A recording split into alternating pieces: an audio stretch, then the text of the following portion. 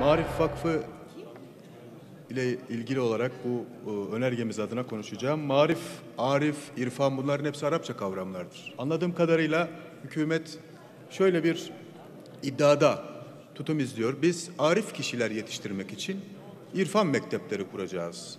Gerekçede de Sayın Bakanımız e, burada dilimizi, kültürümüzü, sahip olduğumuz kadim insani değerleri dünyanın her coğrafyasına taşıyacak bir kurum olarak düşünülmektedir. Vurgusu yapılmış. Çok güzel. Yani buna bir problem yok. Bu gayet anlaşılır ve kabul edilebilir bir gerekçe olmuş. Devam edelim. Kuruma 1 milyon TL aktarılacak arkadaşlar. Para nasıl harcanacak belirsiz. Harcamayı kim denetleyecek? Sayıştay mı? Belirsiz. Sizin eğitim politikalarınız nedeniyle intihardan intihar beğenmek zorunda kalan atanamayan öğretmenler bu vakıfla alakalı olarak herhangi bir istihdam alanına kavuşacak mı? Yok. Marif Vakfı'nın yönetimini kim belirleyecek? TRT'nin, yargının, emniyetin, valilerin belirlenmesini sağlayan irade belirleyecek. E arkadaşlar, e sizin belirlediğiniz, yönetimini belirlediğiniz kurumların, müesseselerin geldiğini, geldiği noktayı hep beraber görüyoruz. Belirlediğiniz valiler halka vurgulayarak söyleyeceğim, yanlış anlaşılmasın, kendi ifadesidir, çarpıtmak istemem. Sizin belirlediğiniz vali halka gavas demedi mi? Dedi. E sizin belirlediğiniz emniyet artık seri katillerle selfie yapma sapkınlığına düşmüş bir noktaya gelmedi mi? E geldi. Sizin belirlediğiniz ve dizayn ettiğiniz üniversitelerde hocalık yapan profesörler bilmiyorum vicdanına sığan var mı ki ben inan, inanmıyorum yoktur. Buradaki hiçbir milletvekili bu ifadeyi eminim kabul etmiyordur. Namaz kılmayan hayvandır gibi bir ifade kullanır hale gelmedi mi? Geldi.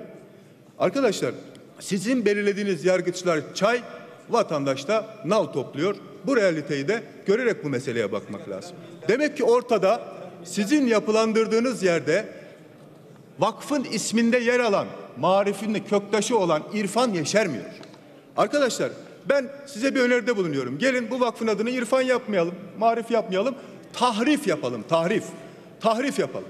Niçin biliyor musunuz? Çünkü eğitim, yargı, toplumsal barışımız, kardeşliğimiz, birliğimiz, beraberliğimiz e sizin elinizde tahrif edildi arkadaşlar. Diplomalı hıyarcık parodisi vardı. Çok da eğlenceli bir parodiydi. Arkadaşlar sizin elinizle eğitim bu ülkede şu hale geldi. Diplomalılar artık hıyarcılık ve amelelik yapıyor.